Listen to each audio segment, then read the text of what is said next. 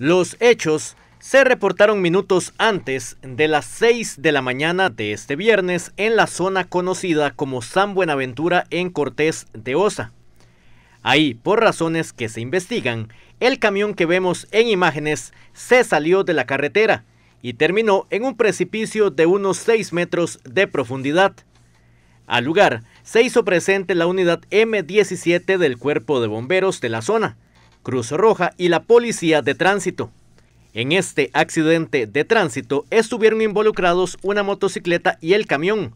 Producto del hecho, dos personas fueron trasladadas al Hospital Tomás Casas Casajus de Ciudad Cortés. Se trató de un hombre y una mujer en una condición estable.